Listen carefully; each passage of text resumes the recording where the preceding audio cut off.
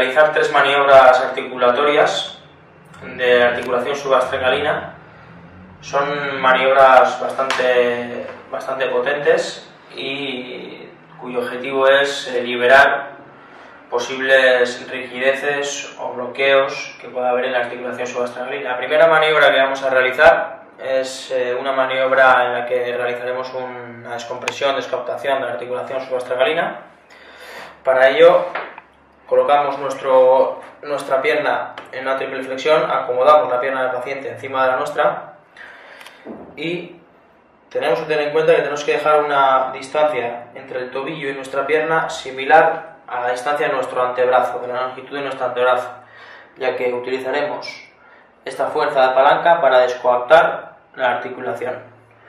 Es una, es una posición en la que el terapeuta puede sentirse muy cómodo, sin grandes esfuerzos, siempre y cuando ponga un buen brazo de palanca utilizando nuestra pierna que está fijada.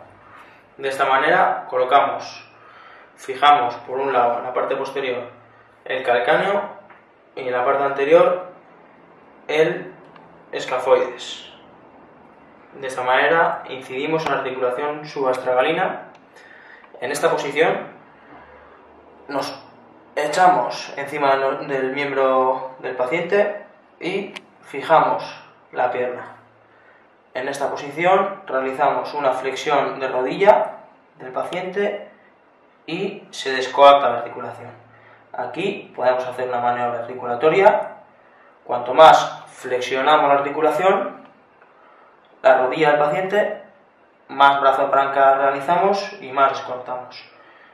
Podemos hacer una, un movimiento de articulación hacia externo, hacia interno. Es una maniobra bastante potente. Bien, por otro lado, vamos a hacer otra maniobra que va a incidir más sobre la articulación calcáneo-estragalina.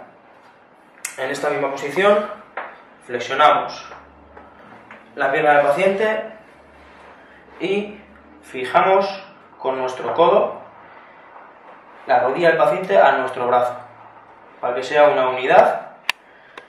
Y en esta posición impactamos con el calcáneo del paciente en la camilla y ponemos nuestro peso con el brazo fijando la pierna del paciente encima del tobillo del paciente.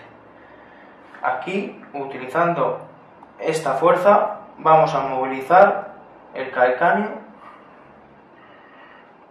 en la camilla. Podemos hacer fuerzas hacia posterior, hacia anterior, articulatorias en círculo. Otra maniobra bastante potente. Podemos utilizar y poner otras presas para hacer estiramientos.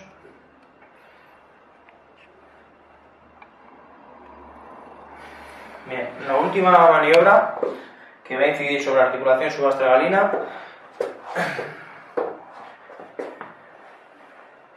e incidirá más sobre el arco interno, sobre la articulación de la faceta interna de la articulación astragalo-escafidea y calcáneo-astragalina. Colocamos, impactamos nuestra mano, nuestro, nuestra palanca fija sobre el calcáneo, fijando la articulación, localizamos el tubérculo de escafoides y en él llevamos la otra, el otro brazo de palanca, el, brazo de palanca móvil.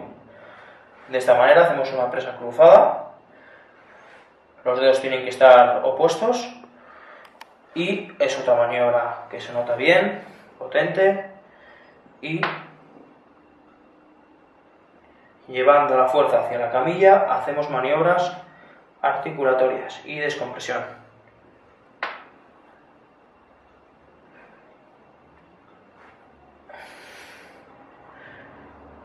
Muy bien, con esto es todo.